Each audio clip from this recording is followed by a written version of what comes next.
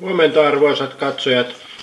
Se on syyskäpäivä aamu tänään ja tota, vaimo on tässä kakun tehnyt pienin, mutta vahvoin kätis, kätösinsä. Ja tota, noin, tässä on mansikkakakku kunnolla kostutettu sisältä, niin kuin meikäläinen aina toivoo, toiveiden mukaan tehty. Ja, tota, tässä on semmoinen juttu, että tätä ei tehty eilen, koska mulla on paha tapa aina yön aikana käydä vähän ottamassa tuosta kakusta, jos se tehdään liian aikaisin. Niin nyt se viimeisteltiin vasta aamusta. Ja tossa nyt tommonen reipas pala, pala kakkua näin alkuun. Ja tota, tällähän se kivasti lähtee päivä käyntiin ja tota, saa vähän palauteltua edellisistä treeneistä.